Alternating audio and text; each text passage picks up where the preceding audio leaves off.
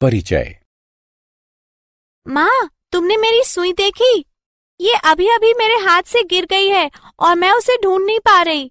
मुझे इस कपड़े पर कढ़ाई पूरी करनी है। हाँ बेटी इसे खोजने में मैं तुम्हारी मदद करूँगी। आओ हम एक चुंबक ले लें और सुई को खोजें। आ, चुंबक क्या होता है माँ? सुई खोजने में वो हमारी मदद कैसे करेगा? बच्चों इस पाठ में हम चुंबकों और उनके गुणों के बारे में जानेंगे। उद्देश्य। इस पाठ के अंत में आप निम्न करने में सक्षम हो जाएँगे। चुंबकीय और गैर चुंबकीय पदार्थों की पहचान करना। चुंबकों के ध्रुवों का वर्णन करना। दिशाओं का पता लगाने में चुंबकों की भूमिका की पहचान करना। चुंबकों के बीच आकर्षण और प्रतिकर्षण के गुण की व्याख्या करना। चुंबकों का इतिहास। बच्चों, एक लोकप्रिय दंत कथा है, जिससे हमें चुंबकों की खोज का पता चलता है, जो मैग्नेस नामक एक यूनानी गडरिये से जुड़ी हुई है।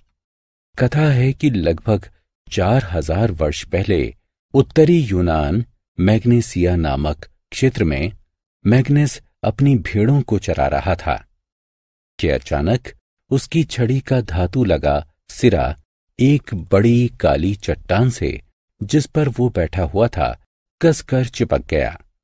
आकर्षण के इस स्रोत का पता लगाने के लिए उसने वहाँ की धरती को खोदा, जिसमें उसे एक प्राकृतिक चुंबकीय पदार्थ मैग्नेटाइट मिला। बाद में इस चट्टान को मैग्नेटाइट नाम दिया गया, जो उसी के नाम मैग्नेस पर था। चुंबकों की उत्पत्ति। मैग्नेटाइट एक प्राकृतिक चुंबक है, जिसमें लोहा होता है। इसकी खोज के बाद के दिनों में इसे चुंबक के रूप में जाना जाने लगा। चुंबक वो पदार्थ है जिसमें लोहे को आकर्षित करने की शक्ति होती है। चुंबक कृत्रिम रूप से भी बनाई जा सकती है।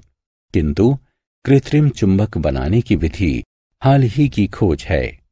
कृत्रिम चुंबक विभिन्न आकार प्रकार की होती हैं, जैसे छड़ चुंबक, नाल चुंबक आदि। पदार्थों के प्रकार। आइए अब हम विभिन्न प्रकारों के पदार्थों को देखें। चुंबकों से आकर्षित होने वाले पदार्थ चुंबकीय पदार्थ कहलाते हैं, जैसे पेंच, नट, बोल्ट चुंबकीय पदार्थ हैं। जो पदार्थ चुंबक से आकर्षित नहीं होते, उन्हें अचुंबकीय कहा जाता है, जैसे ऊन, कपड़ा, ईंटें अचुंबकीय पदार्थ हैं। आत्म मूल्यांकन चुंबकीय और अचुंबकीय पदार्थों को उठाकर उनके उपयुक्त बॉक्सों में रखें। चुंबक के ध्रुव। यदि आप किसी चुंबक को चुंबकीय पदार्थों के ऊपर चलाएँ तो आप पाएँगे कि ये पदार्थ चुंबक के खास हिस्सों की ओर ही आकर्षित होते हैं। ये चुंबक के दो सिरे होते हैं। इन सिरों को चुंबक के ध्रुव कहा जाता है। सही दिशाएँ ज्ञात करना। किसी चुंबक के ध्रुवों की जानकारी मिल जाने पर आप ध्रुवों के स्थान का पता लगाने में भी सक्षम हो जाएँगे। आइए देखें कि किसी चुंबक के ध्रुवों को चिन्हित करना क्यों ज़रूरी है। हम सभी जानते हैं कि दिशाएँ ज्ञात करने के लिए हम दिशा सूचक यंत्र, यानी कंपास का उपयोग करते हैं। इस दिशा सूचक यंत्र में एक सुई होती है। जो सभी दिशाओं में घूमती रहती है। किंतु जब रुकती है तो इसका सिरा दक्षिण की ओर होता है। इससे हमें सही दिशाओं का पता लगाने में सहायता मिलती है। इसीलिए हमें किसी चुंबक के ध्रुवों को चिन्हित करने की ज़रूरत पड़ती है। अपना चुंबक खुद बनाएँ। आइए अपना चुंबक स्वयं बनाने की विधि पर विचार करें। एक पेपर क्लिप लें। एक मोटे और मज़बूत चुंबक का उपयोग करें।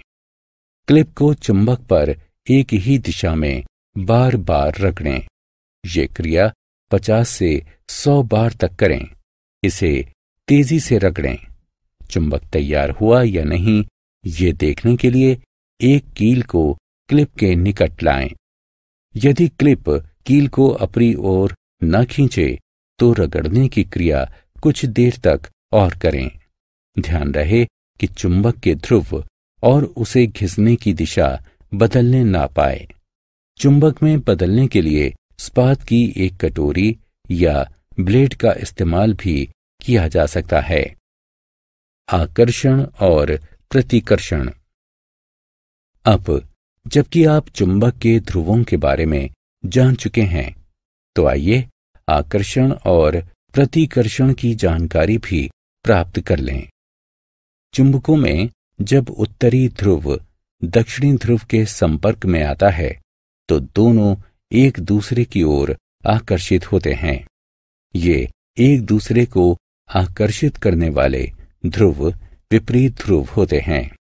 वहीं जब एक चुंबक, इसका दक्षिणी ध्रुव किसी दूसरे चुंबक के दक्षिणी ध्रुव के संपर्क में आता है तो वे एक दूसरे की तरफ़ आकर्षित नहीं होते। ये एक दूसरे से दूर हटने वाले ध्रुव समान ध्रुव होते हैं। चुंबकों के प्रति कुछ चेतावनियाँ। हम अब किसी चुंबक के आकर्षण और प्रतिकर्षण के गुणों को जान चुके हैं। चुंबकों को सुरक्षित और चालू हालत में रखने के लिए इन दिशा निर्देशों का पालन करें।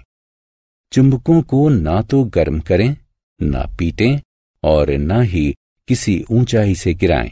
ऐसा करने पर वे अपना गुण खो बैठेंगे। छड़ चुंबकों के जोड़े के आसमान ध्रुवों को एक ही तरफ़ रखें।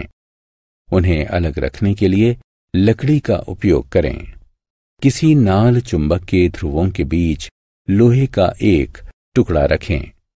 चुंबक को computer, mobile phone, television set और कॉम्पैक्ट डिस्क यानी सीडी से दूर रखा जाना चाहिए।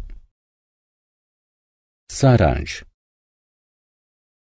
आइए, हमने जो कुछ सीखा है, उसे संक्षेप में दोहराएँ। चुंबक चुंबकीय पदार्थों को आकर्षित करता है। चुंबक के सिरे चुंबक के ध्रुव कहलाते हैं। एक स्वतंत्र चुंबक हमेशा उत्तर दक्षिण दिशा में रहता है। चुंबक के समान ध्रुव एक दूसरे से दूर रहते हैं, जबकि असमान ध्रुव एक दूसरे को आकर्षित करते हैं।